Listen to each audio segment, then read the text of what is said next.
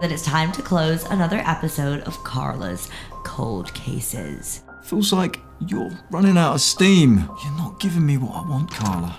Police are still combing the area around Warp Woods, trying to track down Teddy Reed and Joan Evans. Hey guys, everything is riding on this. And we're going to follow the exact same footsteps of the two missing people.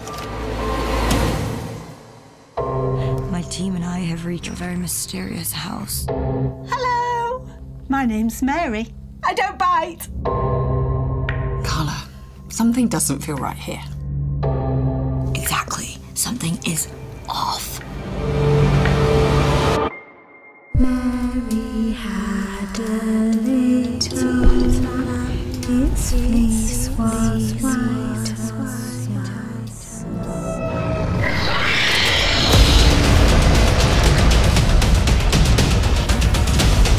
You let Mummy take care of all of this.